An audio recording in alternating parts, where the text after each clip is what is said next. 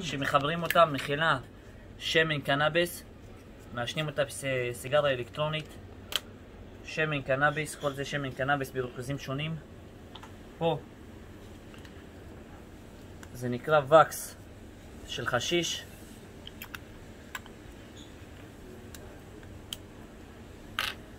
כנ"ל חומר אחר שמיוצר מהחשיש.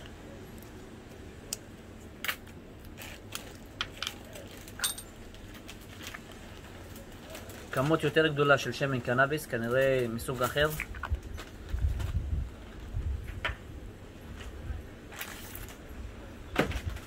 קצת יותר נוזלי.